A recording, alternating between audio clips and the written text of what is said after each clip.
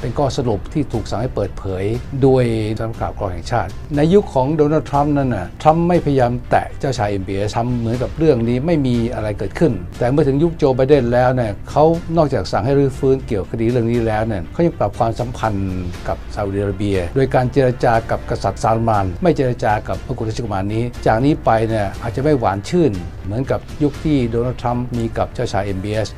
ในยุคของประธานาธิบดีโจไบเดนนะคะ มีเขาลางนะคะว่าความสัมพันธ์ระหว่างสหรัฐอเมริกากับซาอุดิอาระเบียพันธมิตรรายใหญ่ต่อกันเนี่ยนะคะอาจจะร้าวฉานก็เป็นไปได้ค่ะ โดยเฉพาะอย่างยิ่งเมื่อมีข้อมูลรายงานที่สำคัญที่ FBI เปิดเผยออกมาก็คือคดีดังนะคะ คือการหายตัวไปของจามาลคาช็อก จิ ซึ่งก็เป็นนักหนังสือพิมพ์ นักข่าวคอลัมนิสต์ของ Washington Post นะคะซึ่งมีการทำตัวเป็นปฏิปักษ์ ต่อรัฐบาลของซาอุดิอาระเบียเขาถูกอุ้มหายตัวไป ปรากฏว่ารายงานของ FBI ล่าสุดนั้น รายงานออกมาชัดเจนเลยว่า มกุฎราชกุมารของซาอุดิอาระเบียนั้น เป็นผู้สั่งให้อุ้มตัวจามาลคาช็อกจินะคะพี่โสอันนี้คือเรื่องใหญ่เลยนะคะ ใช่ครับข่าวล่าสุดนั้นมีการยืนยันโดยสำนักข่าวกรองแห่งชาตินะครับบอกว่าเจ้าชาย MBS คือมกุฎราชกุมารมูฮัมหมัดบินซาลมานเนี่ยเป็นผู้สั่งให้ปฏิบัติการอุ้มฆ่าจามาลคาช็อกจิ ในสถานกงสุลซาอุดิอาระเบียในกรุงอิสตันบูลในปี 2018 นะครับ เป็นคนที่สั่งฆ่าและก็สั่งปฏิบัติการ หลักฐานสำคัญนอกเหนือจากการติดต่อและการข้อความสื่อสารต่างๆ แล้วนั่นนะเครื่องบินสองลำที่พาตัวทีมสังหารไปในอิสตันบูลนั้นก็เป็นสายการบินส่วนตัวชื่อ Sky Prime Aviation ซึ่งมกุฎราชกุมาร MBS นะครับเป็นคนสั่งยึดมา บริษัทนี้อยู่ที่กรุงริยาดเมืองหลวงซาอุดิอาระเบีย และถูกสั่งมาแล้วก็ใช้เครื่องบินสองลำนี้ขนทีมสังหารไปจัดการ แล้วก็มีรายงานปรากฏอีกว่า ตอนที่ทีมสังหารเข้าไปจับกลุ่มตัวจามานคาชอกจีนั้นมีการต่อสู้ดิ้นรน เมื่อต่อสู้ดิ้นรนแล้วก็ถูกฉีดยาให้ระงับการต่อสู้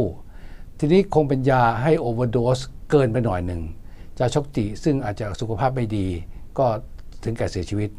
ก็มีคำสั่งให้ทำลายชิ้นส่วนทั้งหมด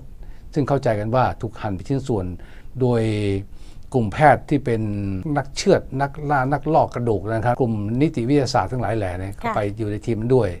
เสร็จแล้วเข้าใจว่าถูกหย่อนในบ่อน้ำกรดละลายซากไม่ให้เหลือให้มีหลักฐาน ซึ่งทุกวันนี้ก็ยังไม่มีหลักฐาน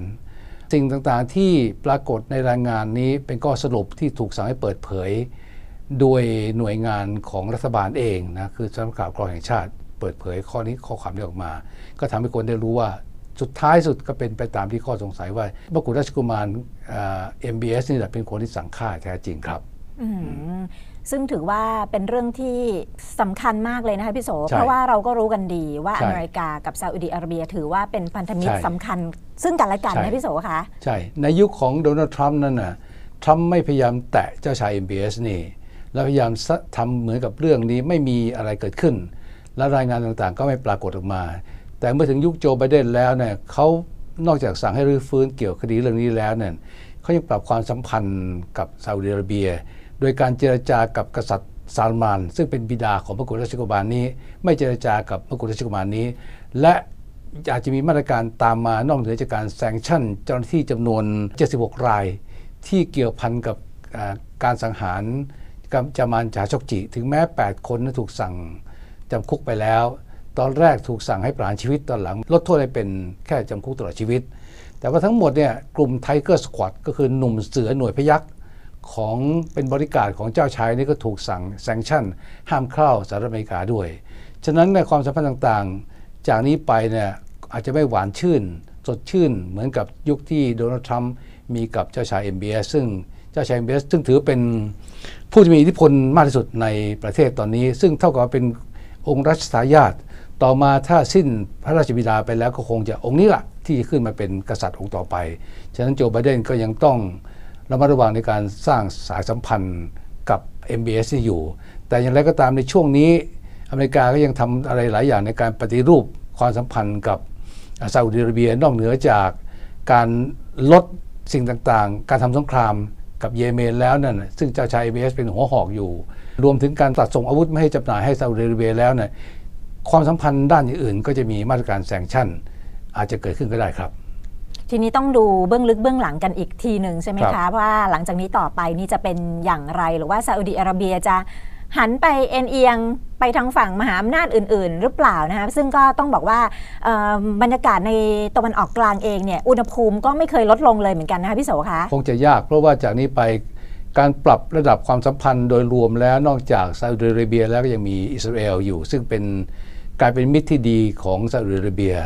นะครับ แต่ว่าโจไบเดนเขาจะมองภาพรวมทั้งหมด ว่าจะทำอย่างไร เพราะว่ายุคเขานี่ถือว่าเป็นสิ่งที่ต้องให้ความสำคัญกับด้านสิทธิมนุษยชน และการปฏิบัติตนกฎหมายเป็นกฎหมาย รวมถึงการใช้อำนาจอย่างผิดกฎหมายเขาก็ไม่ยอมรับด้วยด้วยซ้ำไปฉะนั้นซาอุดิอาระเบียตอนนี้อาจจะอยู่ในสภาพอีหลักอีเหลืออยู่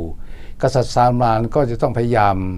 ดำรงความสัมพันธ์ให้ดีกับสหรัฐอเมริกาซึ่งเป็น สปอนเซอร์หลักในการส่งอาวุธด้วย แล้วก็ความสัมพันธ์กับประเทศอื่นในตะวันออกกลางด้วยครับ